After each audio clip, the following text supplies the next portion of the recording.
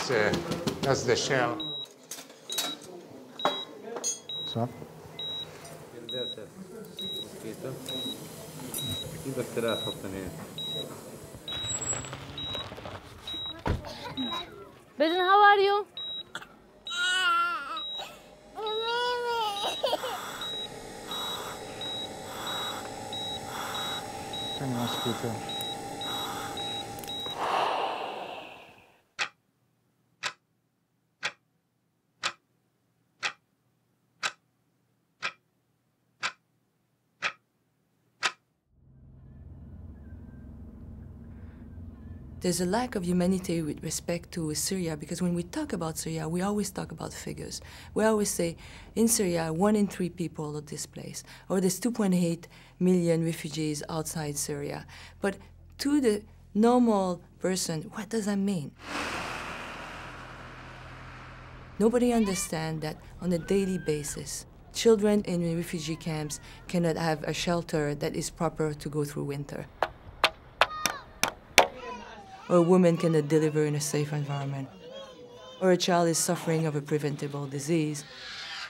This is what is the daily life of someone from Syria. One of the major challenges that we face in Syria is to be able to deliver safe aid without putting at risk either our team or our patient. The reality is we don't have the reach that we would like to the civilian population. But what we're trying to do is to attend to the most needy patient that we can reach. It's always going to be a challenge for us.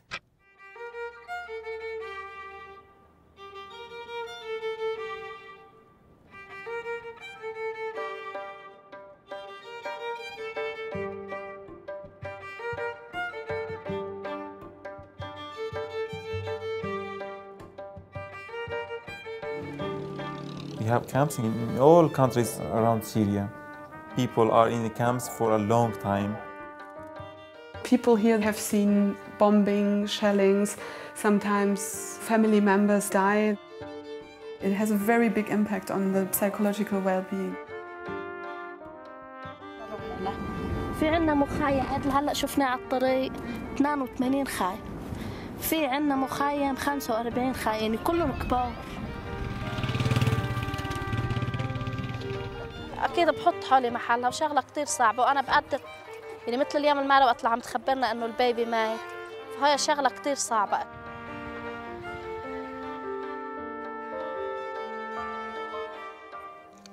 All of our patients are newly injured in the conflict, usually because of blasts or bullets. قام جاء علينا صاروخ. شعور إنه ما لي حسيت إنه ما لي جرين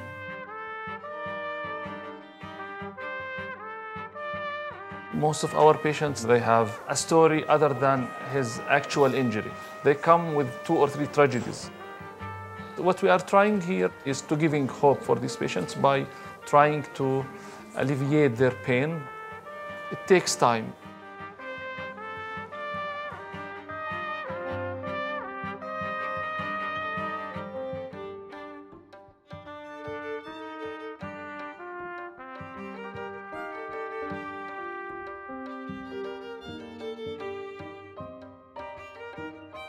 People treat crises as figures. We don't understand what is at stake. The reality is all crisis has a human side to it. And that's what this project is about, to show the human face of the crisis in Syria.